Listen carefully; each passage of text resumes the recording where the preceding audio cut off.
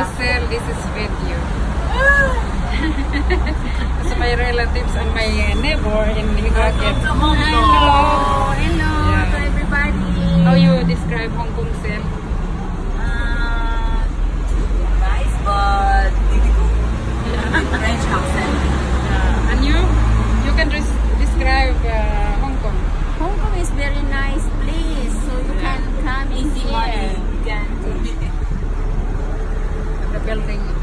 这美颜这帅这傻逼